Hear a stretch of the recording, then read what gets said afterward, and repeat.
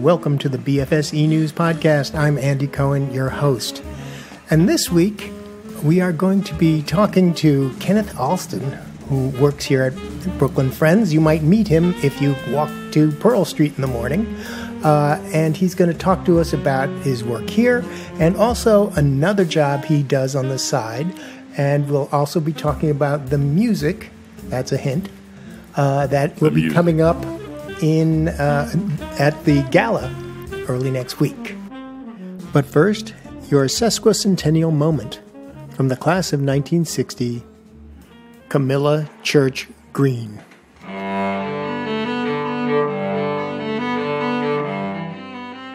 being from an enslaved history where I am perceived as three fifths of a human being, I never got that uh, experience here. I felt as if there was a philosophy that everyone had a spirit within them and that everyone's spirit was valid um, and that you could not put down another human being.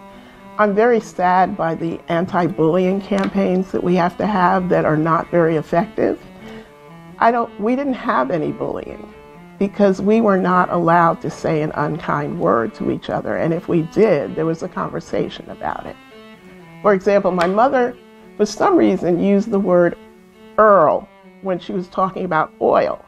And I came to school and I used the word Earl, and someone laughed at me.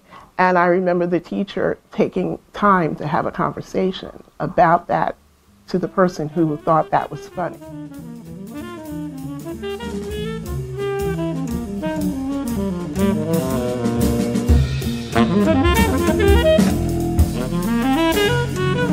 Kenneth, welcome to the show. Oh, thank you. Thank you for having me. So, Kenneth, how long have you been at Brooklyn Friends School? I think I've been here like seven, seven and a half years now. That's seven, seven, eight years. And and what do you do for Brooklyn Friends? Uh, security. You are security. you so we meet you in the morning. You're usually here uh, at the desk in, at Pearl Street, right? Yes, I'm usually at the front door and, greeting everyone and making sure everyone is coming in with their ID and that they belong here. Okay, and I guess you would know pretty much everybody that belongs here. Pretty much, yes, yes. Pretty much, yeah. What's your favorite part about the job? The meeting the people, that's, that's the best part of the job. I'm a people person, so uh, meeting people and interacting is the favorite part. Okay, so you have another job also, but not for the school. You are actually a professional singer, isn't that right? singer, musician, songwriter, somewhere in there. Yeah, yeah. And and how long have you been doing that? Oh, I've been doing that since I was, I don't know, maybe 12 years old.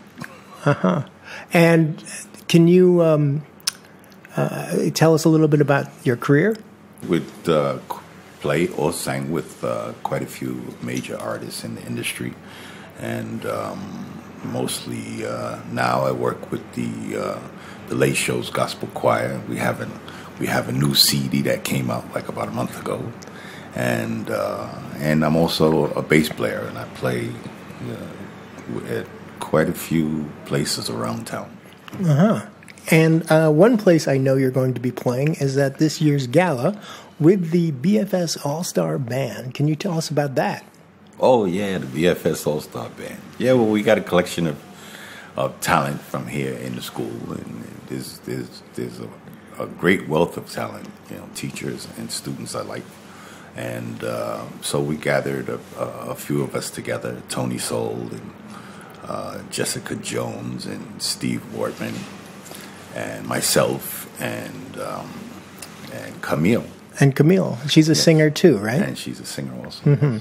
So Camille is from the preschool, She's from the preschool. Yes. and Tony uh, ha- had been a long-time teacher here. He's now semi-retired because Yeah, he semi-retired. you can still see him um, playing music in yeah, the preschool comes to the preschool. yes. and the preschool and the family center. Yeah. And then you have Jessica Jones, who of course is our jazz teacher. Yes, Jessica Jones. And so um, you just met recently for your uh, warm-up, tune-up for this gig. Yeah, we tuned up a little bit. Okay. Just, just a little. What kind of music are you going to be playing? Well, we're going to try to do a mixture of, of the music that, that inspired us to play. So it'll probably be like rock and roll and blues and jazz and R and B, you know, a little Motown because that's kind of what really inspired me, uh, Motown, the Motown sound. So we're going to do a little bit of that, and we're going to try to mix it up. We're going to try to mix it up. Okay. Do, do quite a few things. I'm sure everyone's going to enjoy it. I, I'm looking forward to it. I can tell you that. We did a, a holiday video here a, holiday, couple of years ago, and we're going to leave you with a little bit of Kenneth singing some holiday music. I see trees of green, red roses too. I see them bloom for me and you, and I think to myself, what a wonder. Well, that just about does it for this week's E News podcast. Thank you so much, Kenneth Alston, for being on the show today. Also, I look forward to seeing everybody at our spring gala, which is Tuesday, May 2nd at Hill Country, right across the street. See you there. And remember to let your life speak. What a wonderful world.